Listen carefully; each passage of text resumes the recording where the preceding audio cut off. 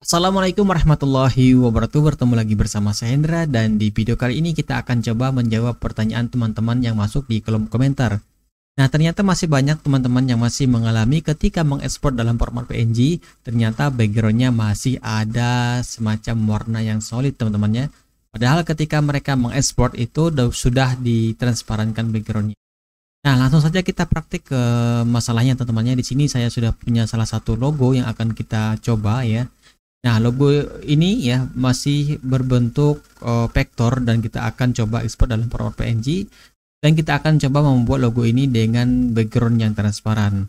Nah, pertama di sini kita sudah punya salah satu background warna putih, kemudian kita hilangkan warnanya ya kita bisa hilangkan menggunakan bagian fill and stroke di sini. Nah, hasilnya akan seperti ini. Kalau sudah tinggal kita coba seleksi seleksi semuanya, kemudian kita klik kanan lalu kita group.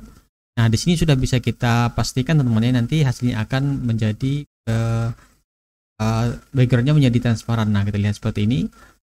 Coba kita tes, kita ekspor ya, Ctrl Shift A, kemudian kita klik di sini, seleksi, kemudian di sini DPI-nya 60 dpi, kemudian kita ekspor aja. Dan ekspor ini formatnya PNG teman-teman ya. Kita tes di sini, misalnya uh, kita kasih nama tes di sini. Kemudian kita save dan kita lihat hasilnya di sini teman-teman ya. Kita lihat hasilnya. Nah coba kita lihat tadi hasilnya tes nah di sini bisa kita coba masukkan lagi ke Inkscape-nya di sini kita lepas. Nah ini backgroundnya tidak transparan teman ya. Ada masalah apa sebenarnya ya? Nah kita akan coba cari solusinya ya. Ini gampang sekali ya.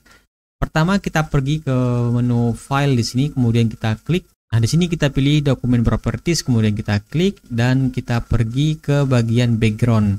Nah, background ini bagian background colornya kita klik aja yang segi empat ini kita klik, lalu kemudian di sini kita bisa setting sendiri ya warna background ini bisa menjadi warna putih, warna merah dan sebagainya. Di sini tapi saya akan kasih warna abu-abu seperti ini. Lalu kemudian uh, ini masalahnya adalah di bagian alfanya teman-teman ya. Kalau misalnya alfanya 100, maka background ini sebenarnya warnanya solid ya.